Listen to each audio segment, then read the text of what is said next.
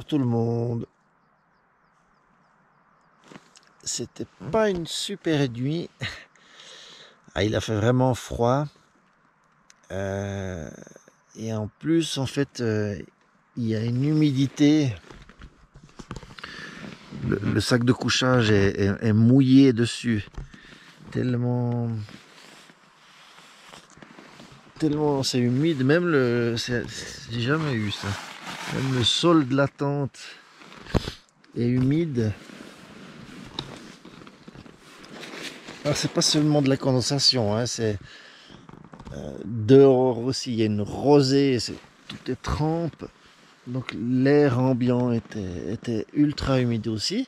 Et du coup le, ben, c'est un, un kilt en plume, hein, donc ça veut dire on perd un peu d'isolation, ça mouille quand même un petit peu, ça tasse un petit peu. Ouais, bref, j'ai eu froid, il y avait du vent. J'ai repoussé le réveil pour avoir du soleil qui me permette un petit peu de, entre guillemets, d'aérer et de sécher ça. Euh, il est donc 6 heures. Les premiers rayons de soleil commencent à, toucher la toile. Le ciel est totalement dégagé. C'était d'ailleurs euh, une nuit complètement étoilée il fera chaud et puis il fera beau. Pour euh, la Graina, je me réjouis beaucoup.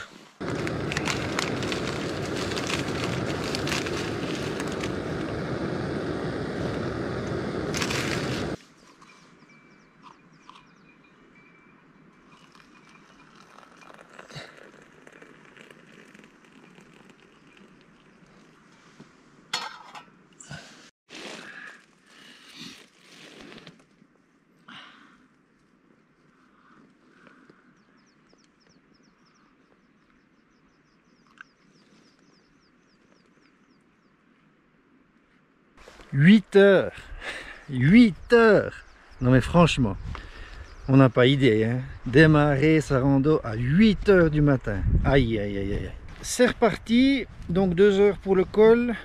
Il y a une bonne petite montée à la fin là, parce que on va passer là-bas, légèrement sur la droite. enfin, c'est juste caché sur la droite, le passage réel. On verra ce qu'il en est des traces. Est-ce qu'il y a ou pas euh, de la neige, mais je pense pas parce que c'est vraiment un peu caché là-bas derrière. Toujours est-il que je me réjouis beaucoup, beaucoup, beaucoup.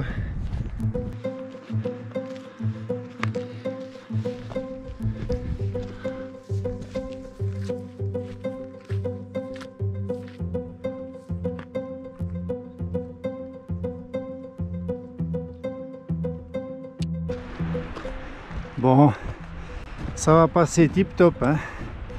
On voit la différence. Là, c'est un peu plus haut quand même. Plutôt 2007-2008. Donc effectivement, en Suisse pour le moment, la limite euh, neige, elle est plutôt vers 2008. Euh, Mais euh, il y a certaines situations sur face nord où il peut y avoir des, des névés hein, qui, qui traînent plus bas et puis qui peuvent rendre un passage assez périlleux on verra. Mais là ça a l'air tout bon comme je le vois. Sur la droite là-bas ça va jouer très bien.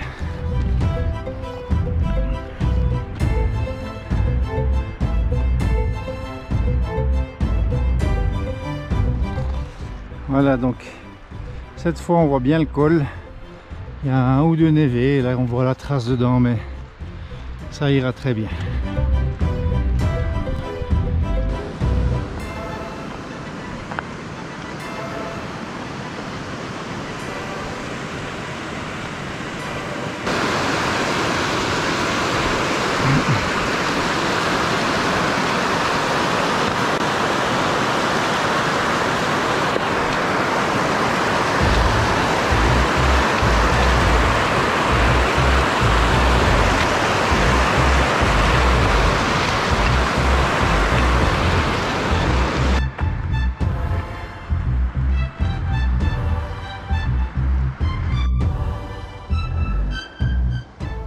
une neige bien molle, des traces, pas trop de pente, euh, tranquille. Donc euh, voilà, il faut pas glisser, il faut quand même pas partir. Mais euh, là en bas, bon, ben, il y a des cailloux, tout, etc. Faut être concentré. Et puis tout va bien. Les bâtons, ça aide, ça fait des, points d'appui supplémentaires. Et puis il faut bien taper les pieds pour ceux qui ont un peu des appréhensions. Maintenant, sur quelque chose de plus pentu et de plus, euh, plus gelé, plus dur, c'est bien de, mettre les crampons. hein. Le problème, c'est que je vous parle par expérience. Quand tu pars, soit sur de l'herbe mouillée, soit sur un évé, ça va tellement vite t'as pas le temps d'anticiper, c'est bam, t'es parti et puis tu vas déjà très vite. Et, s'arrêter, il y a une technique avec les bâtons euh, pour s'aider, c'est pour éviter la glissade, ça peut être de travailler comme ça, les doubler, puis venir euh, bien piquer. Comme ça, on a un appui possible ici, si jamais on part, mais ils peuvent péter aussi, même doubler, donc euh, voilà. Donc ça, ça peut être une idée d'avancer sur la en, amont. Vous plantez vos bâtons. Ça peut vous permettre de vous arrêter en, en venant vraiment faire pression avec le corps. Ça peut vous aider disons mais bon si c'est gelé et pentu ça servira à rien. Il n'y a que le piolet à ce moment là qui va permettre de vous arrêter. Donc n'oubliez pas il y a toujours une solution, c'est de, renoncer, hein. de faire un détour. Euh, ma foi, vous perdez du temps. euh, voilà, mais c'est mieux que de partir aller se tiaffer dans une falaise.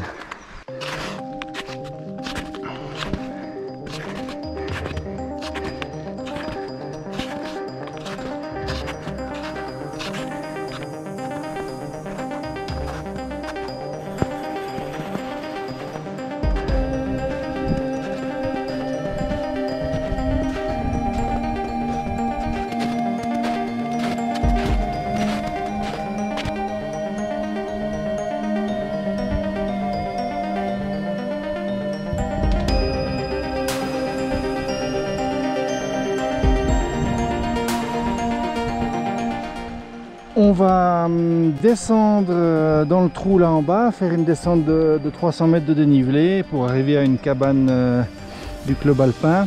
Et puis en face de nous, on a le Pise euh, Greina. Pise, c'est donc pic euh, en romanche, la quatrième langue euh, suisse. Avec son glacier petit, on, voit, on le voit en haut. Puis là-bas, entre les deux, au fond de la vallée là-bas, le Piscoroil. Maintenant on va descendre, euh, le plateau de la Graina se situe, là en bas et puis il part comme ça sur, le, sur la droite un peu là-bas.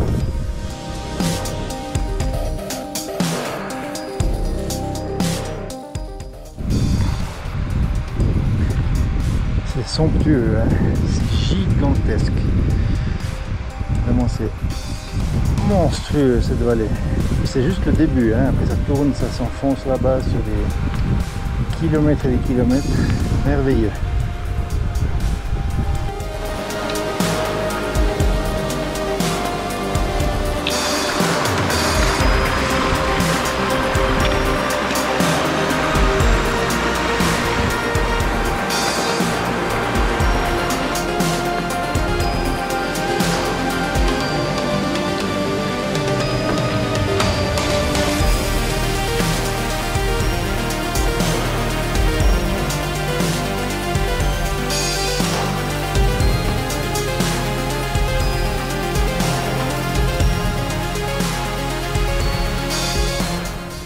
On aperçoit au centre de l'image, au loin, la cabane de Terry, qui- est une grosse cabane, hein, parce qu'il y a le, le piste derrière, donc il y a pas mal de, de grimpés et tout. Euh, la cabane est par là. Auparavant, on passait par, euh, ici, puis on plongeait, etc. Ça a été corrigé, le, le tracé a été corrigé, donc on va rejoindre la piste par là-bas en bas, et puis partir euh, ensemble dans cette vallée. C'est vraiment énorme, c'est génial. Superbe.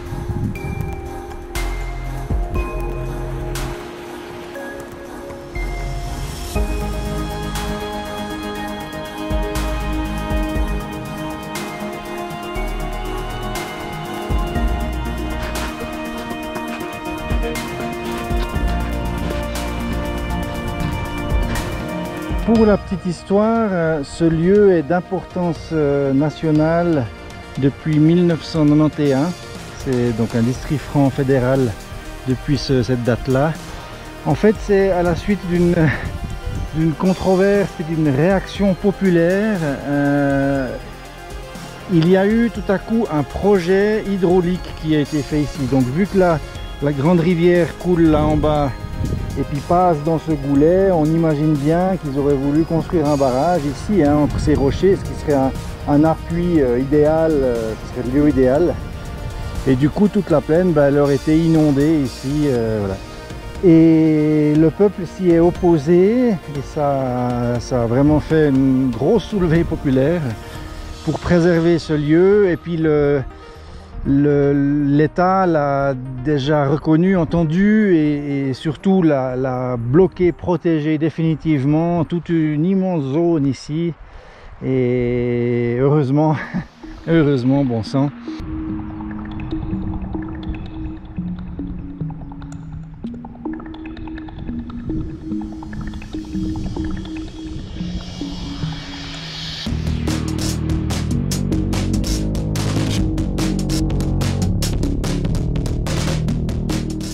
Rangé une marmotte là-bas, désolé.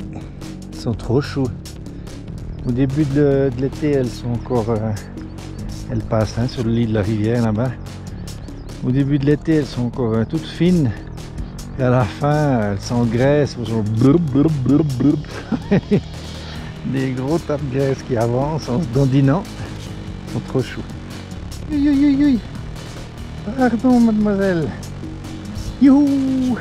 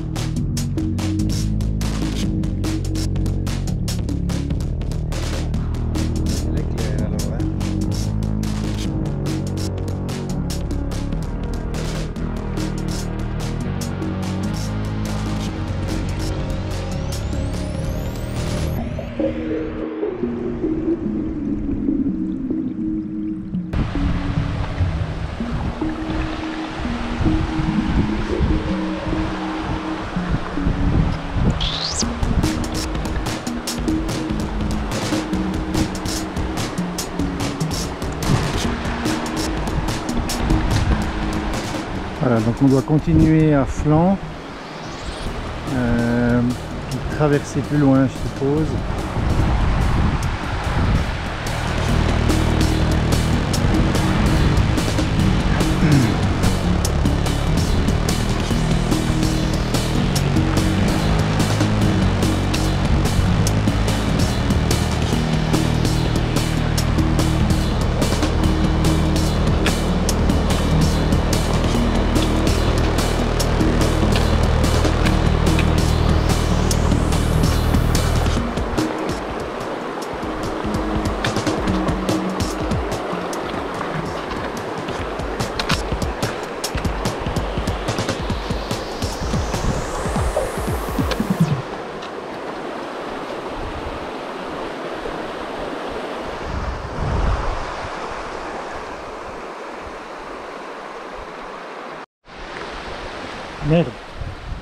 Merde. Merde, j'ai perdu le filtre. Bon. Eh ben, on retourne en arrière.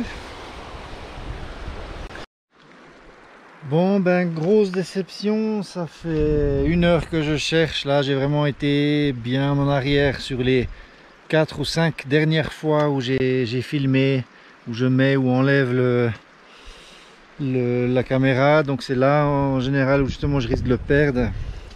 Je, suis- très déçu. C'était vraiment quelque chose. euh, Bon, déjà, je venais d'investir là-dedans. C'est quand même un set de filtres à 70 euros. Je sais pas si ça peut se ra- racheter euh, à la pièce. Il me reste les deux autres filtres, mais qui sont à la maison. Euh, bon, voilà, il faut faire la... faut passer par là-dessus. C'est juste dommage c'est des histoires techniques de, voilà, de profondeur de champ, de choses comme ça, mais et de vitesse de pour la vidéo, mais Nieto. Bon, alors on continue et puis ben, je vais manger un peu plus loin là parce que voilà, il faut se consoler. Ah, désolé pour le petit bout de pollution, c'est du verre et du métal.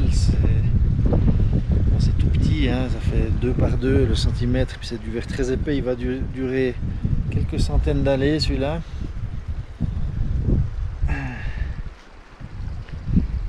Merde.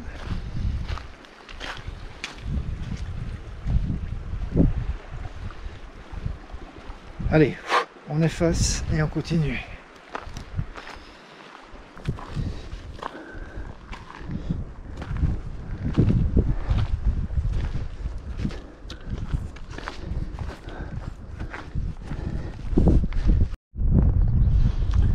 Là, je suis un peu dans des zones marécageuses. Comme c'est un plateau, hein, il y a tous les l'eau qui vient ici ce qui est un biotope absolument exceptionnel. Je suis un peu tôt, juste dans la saison, par rapport à la floraison, tout ça. Euh, peut-être un idéal ici, c'est été et automne avec des couleurs euh, différentes, peut-être plus chaudes. Et puis pas à midi, quoi. voilà, donc je suis juste un petit peu pas assez ciblé pour faire un reportage sur la Greina. Mais disons que pour, euh, la traversée avec le beau temps, c'est déjà mieux que dans les nuages hier. Et puis ça reste magnifique. C'est vraiment une, vallée exceptionnelle. Hein.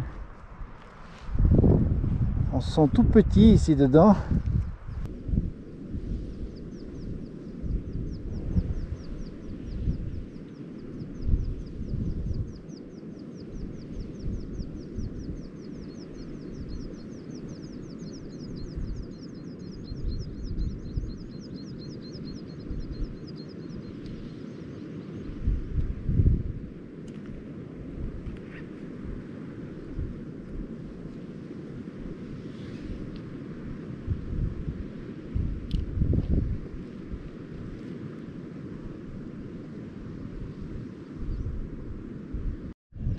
Voilà ce que c'est quand je voulais dire euh, bout de poulet.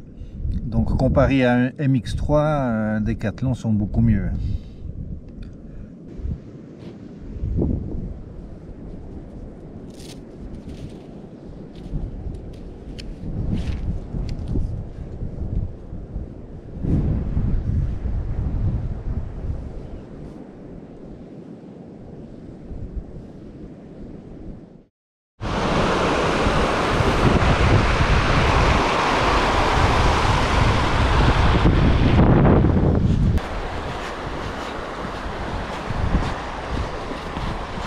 Bon les amis, décidément je les aligne aujourd'hui. Hein.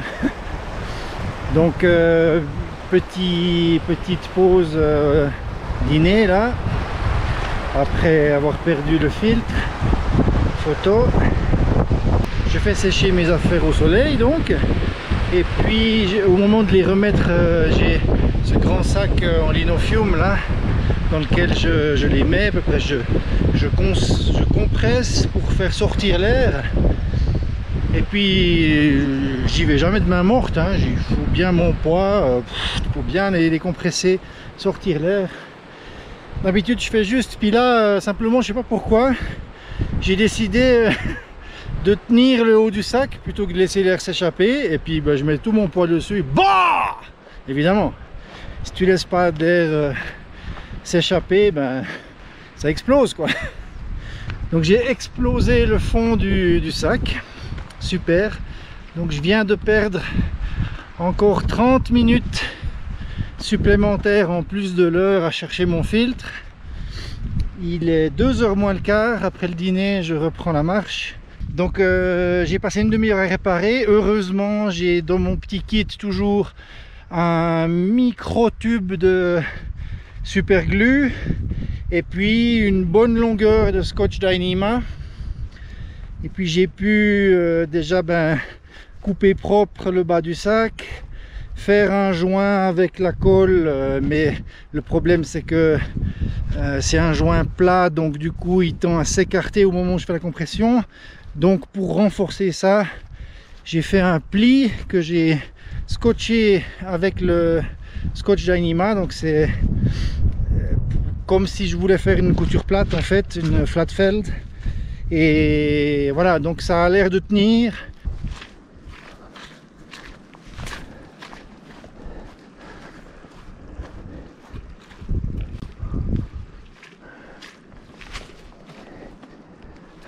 Un peu moins évident à traverser là, mais en faisant un petit bond de cabri, je vais, je pense y arriver là. Hop. Ouais. Et ça, ça glisse pas, c'est bon.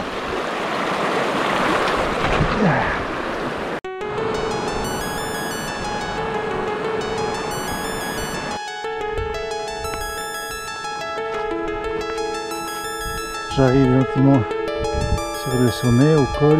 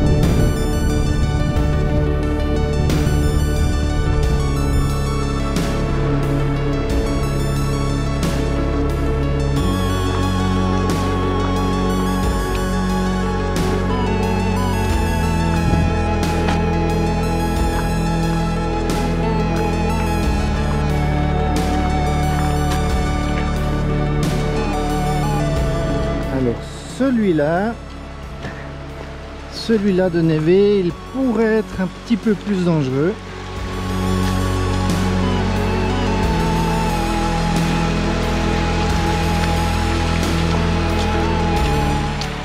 Oui, là c'est un peu différent.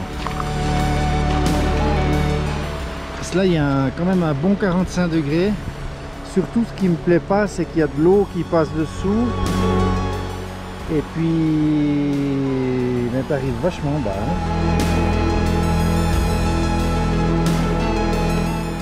Bon, alors, allez, on voit un ruisseau, enfin ouais, un ruis- ruisselet, on va dire.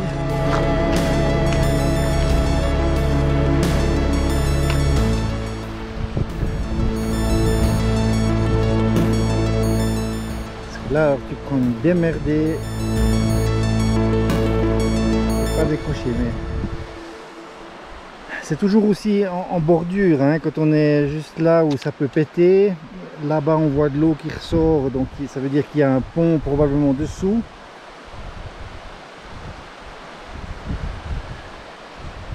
Bon, il va pas décrocher, je pense pas. Mais je pense que plus le- ça va avancer là avec les jours, plus ça va être dangereux. Les traces sont vraiment bien marquées, je vais y aller comme ça. De toute façon, si ça décroche, euh, c'est pas ça qui va m'empêcher de glisser. Mais là, je vais pas glisser parce que les, marques sont très profondes. On va y aller comme ça. Mais disons, si c'était mal marqué, ce serait crampon obligatoire. Et puis même mes, micro-crampons là-dessus, ils seraient pas assez dentés. Les, les Petzl que j'ai, les autres, avec le, les Petzl Léopard, ils ont des dents beaucoup plus longues. Là, ça peut jouer, mais pas mal celui-là. Là, il faut faire gaffe. Ça, tu pars là en bas, c'est plus que 45.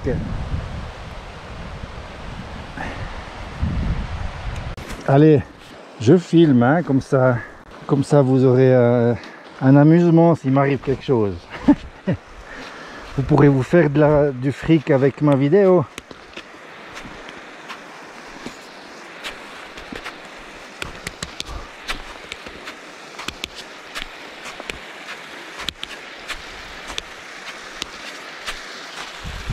Je suis juste sur un pont. Hein, on voit le, ruisseau qui passe dessous. Donc on va pas trop taper, on va vite passer. Mais les marques sont bien mises. Ça va. faut juste pas qu'il y ait un bout qui casse. Parce que sinon c'est là où tu pars.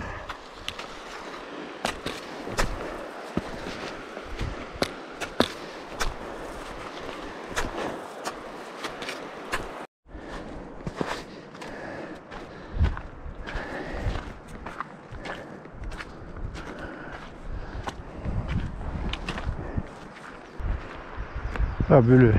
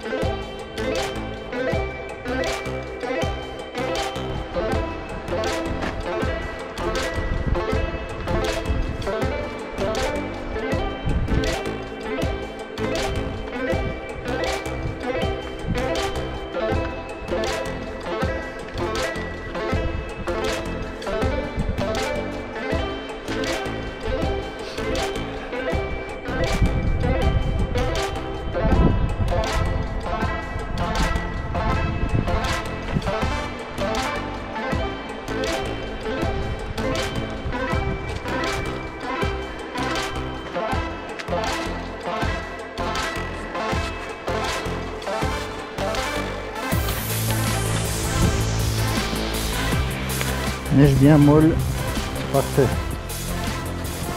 Pas besoin de faire des détours, ça accroche bien.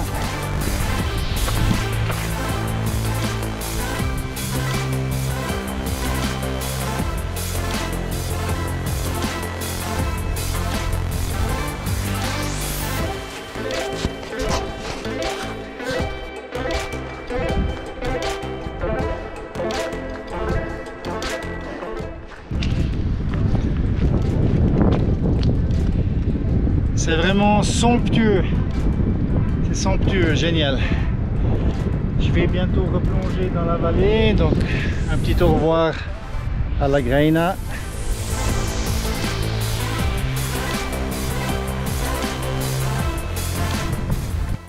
Donc maintenant on entre au Tessin.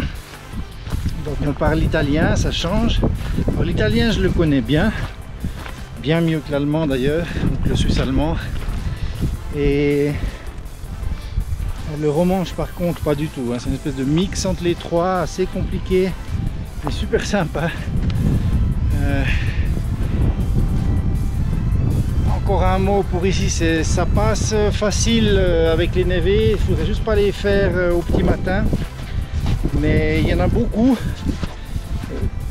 Les principalement des tout plats, hein, donc c'est pas un souci, c'est juste un peu plus fatigant.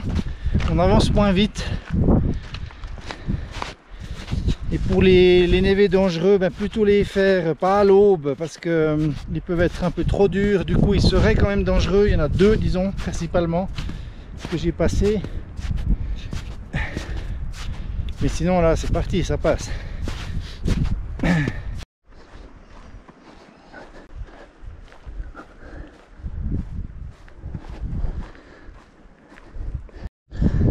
Je vais devoir faire tout le, dernier bout jusqu'au col dans le, le. Courage C'est pas que c'est dangereux, c'est juste que c'est assez fatigant.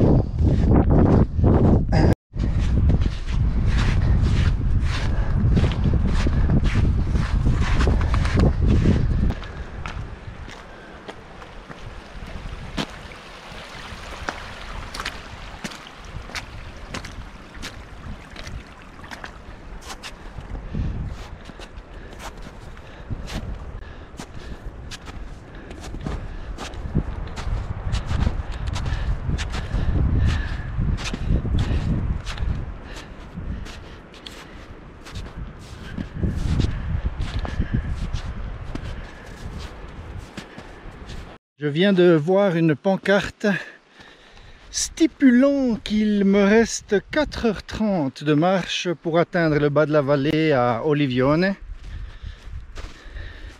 Cela m'a courroucé. 4h30, ça veut dire que ce serait une journée à 10 heures de marche. Donc j'ai largement, je sous- sous-estime toujours les distances. Euh, voilà, donc soit J'essaye de me la faire un petit peu en mode euh, entre guillemets trail, mais euh, avec un pas soutenu, trottinant comme ça, je, vide mon eau complet, comme ça j'ai 0 litre d'eau, puis je prends, enfin ouais, ou juste un fond quoi, Euh, même pas 3 décis, et puis je prends au fur et à mesure, puis comme ça je suis léger. Je peux peut-être essayer de faire ça, ou alors j'y vais, et puis je verrai bien où j'arrive ce soir.